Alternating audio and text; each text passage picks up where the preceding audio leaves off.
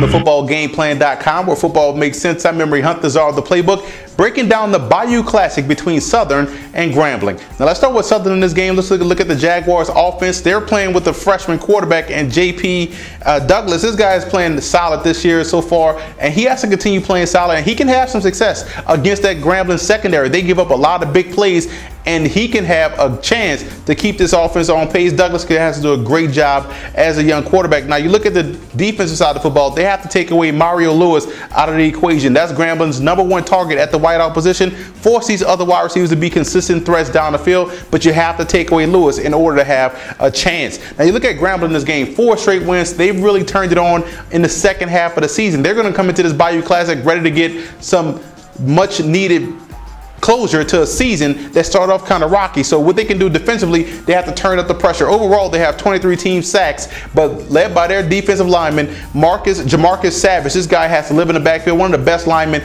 in all of the SWAC. This guy always plays on the opposite side of the line of scrimmage. He does a great job of getting pressure. If he can do that consistently against Douglas, the young quarterback, Grambling can win this game on defense. This is one of the best rivalries in college football, regardless of division. I'm going with Grambling in this game. They're a little bit more well balanced on offense. Although they do a great job of shooting themselves in the foot, I think they play a clean football game and win this one going away. For more college football previews, visit footballgameplan.com slash college football or visit our YouTube channel at youtube.com slash football game plan. And listen to the Football Game Plan radio show, which airs Saturdays, 11 a.m. Eastern Time at blogtalkradio.com slash football game plan.